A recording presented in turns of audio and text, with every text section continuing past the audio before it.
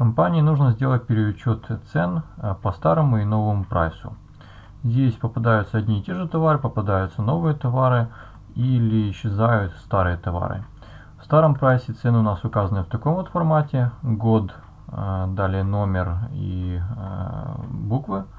В новом прайсе за текущий год указаны в формате группа, номер и дальше ТН буквы. Нужно выделить те, где совпадают эти номера по, новому, по новой и старой номенклатуре. Зеленым выделить те, у которых цены совпадают. Красным выделить те, у которых цены отличаются.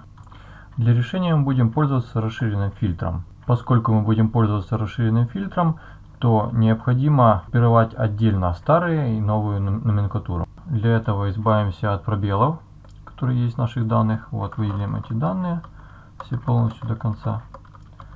Вот мы их выделили и через данные удалить дубликаты, удаляем промежутки между ними. Так же самое поступаем со второй колонкой. Вот у нас есть определенные данные. И их все полностью мы удаляем дубликаты.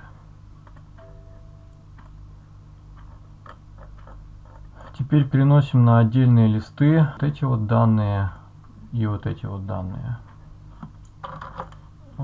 Первое. Вставляем сюда. Вставляем значение. И оп, второе.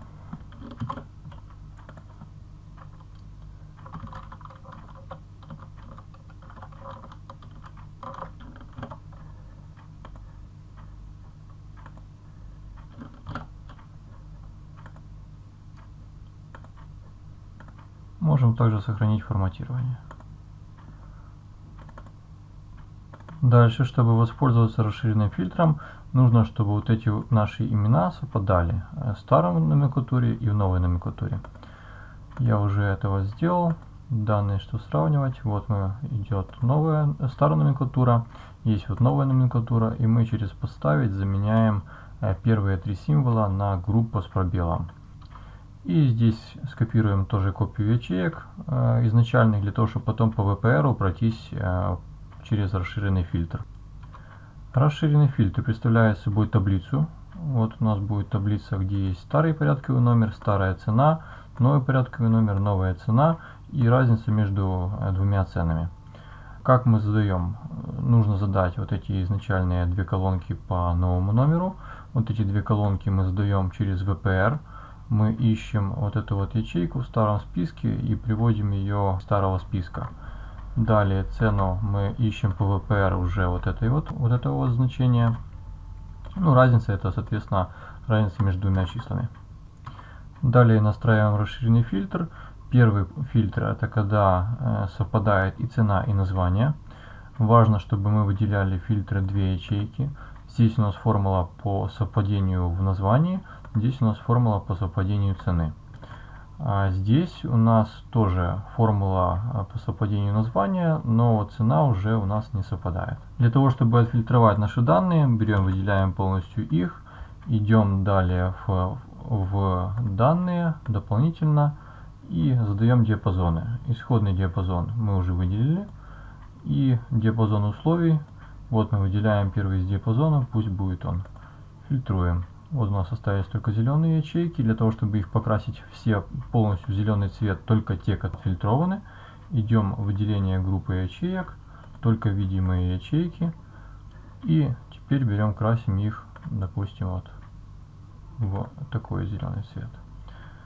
Далее, чтобы, чтобы перейти и выделить те, в которых цены не совпадают, но они есть и в старом и новом прайсе, опять идем в раздел «Данные», очистить. Выделяем еще раз эти э, ячейки. Жмем на дополнительно. Но теперь уже изменяем диапазон. Изменяем диапазон на вот, вот этот. Важно, чтобы мы выделяли и верхнюю колонку, и колонку с нашими условиями. Фильтруем. Э, опять же, главное найти, выделить. Выделяем видимые ячейки. И в этих видимых ячейках мы их покрасим, например, вот такой вот желтый цвет.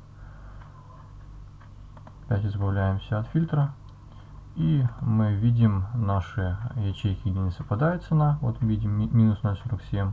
И остальные ячейки покрашены в зеленый цвет, э, где совпадает цена. Есть также ячейки белые, где у нас не было товаров в старой номенклатуре.